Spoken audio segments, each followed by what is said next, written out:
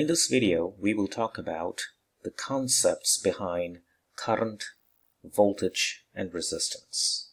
In particular, we will talk about the origin and the definition of electric current and how the application of voltage or potential difference produces electric current in a given circuit. Next, we will talk about the concept of a resistance and how resistance depends on things such as resistivity, which is material specific, and the dimensions of a given conductor. Finally, we will do some solved problems based on these concepts. Let's first begin with the origin and definition of electric current. Let's assume you have a conductor like that. And within that conductor, you have lots of positive charges. Let's just show three of them for the sake of the argument. And each of these charges carry charge of q coulombs, little q coulombs. Of course, these charges do not stay put, which means they are not completely stationary. What they do is they move randomly like that. And on average, they end up where they began. So there is no net motion for these charges within that conductor. Now, let's assume that I connect this conductor with a battery, like that. So we all know the longer line refers to the positively charged terminal of the battery, and the shorter line is the negative terminal of the battery. So let's assume the battery provides a potential difference of capital V. What that means is the left-hand side of the conductor has a potential of let's say V plus and the right-hand side of that conductor will have a potential, electric potential V minus, where V plus minus V minus equals the potential provided by the battery or the potential difference provided by the battery. Since this region has a greater potential than that region, an electric field will be set up like that towards the right. Let's call it E. Then what happens is that all the charges, the collection of these positive charges will start to drift with some speed or velocity v. Now, the velocity v results from net motion of this collection of positive charges. And this velocity is called the drift velocity. Let's concentrate on one particular cross-sectional area like that. The cross-sectional area is a meter squared with a length of let's say dx. Let's assume in an interval delta t seconds a total net charge of delta plus q passes through this area. So the electric current is defined in a following manner. It is given as the ratio of delta Q over delta T.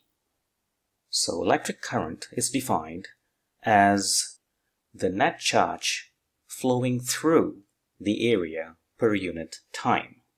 As you can see, the SI unit for electric current is coulomb per second. Delta Q is measured in coulomb, delta T is measured in seconds. Or quite simply, ampere. With an abbreviation, capital A. This is the general definition of electric current. Now let's get the, an expression for electric current in terms of microscopic quantities. Let's assume within this conductor there are n charges per unit volume n charges per unit volume. Since each charge carries q coulomb, little q coulomb, the net charge, the net coulomb that is passing through such a cross-sectional area has a got to be the number of charges per unit volume times Q times the volume of such small element, which in this case is the cross-sectional area times the width, which is, let's say, dx. Note again, little n has the dimensions of a number of charges per unit volume, and this is the volume. So the volume cancels will give you a number of charges, number of carriers, and each carrier has a charge of little q coulomb. So when you multiply the number of charges and the charge each carries, you will get the net charge that is passing through such a cross-sectional area in this amount of time, namely delta t. Of course, we can write delta q as differential q in the language of calculus, and we see that the electric current can be expressed as follows n q a dx over dt. But we do know what dx dt is. dx dt is quite simply the drift speed. So in terms of these microscopic quantities, the number of carriers per unit volume and drift speed, it quite simply becomes n q a v. Note that electric current is a scalar quantity. Another quantity that is of calculational importance is the electric current density. Now this is a vector and it's defined as quite simply, at least the magnitude of it is defined as the electric current in coulomb per second or in ampere divided by the cross-sectional area. So from this equation, the magnitude of electric current density is given by NQV. We note that electric current density is a vector and that can be seen from this equation. The right hand side you have a drift velocity vector so electric current density is a vector as well. And the unit for electric current density is ampere per meter squared. Now we also note that since these two points are at different potentials, there will be an electric field going to the right as we indicated earlier. Now this electric field is a vector. So there is a direct connection between J, the electric current density, and the electric field that is being set up within the conductor. For some materials, especially metals, J is directly proportional to the electric field E, with the constant of proportionality can be written in the following manner. So the constant of proportionality is 1 over rho. So this rho here is known as the resistivity of that conductor or metal. Since J is related to electric current, and E is related to the potential difference provided by this battery, we can also write a proportionality equation between these two quantities in the following manner. I equals 1 over R times V, where now R is the resistance of this conductor. Now there is a difference between resistance and resistivity. This will become clear in a few minutes. These two equations are known as Ohm's law and material or conductors that obey Ohm's law are known as ohmic materials. Now let's look at the connection between resistivity and resistance. To begin with, resistance has an SI unit of ohm, and resistivity has an SI unit of ohm meter.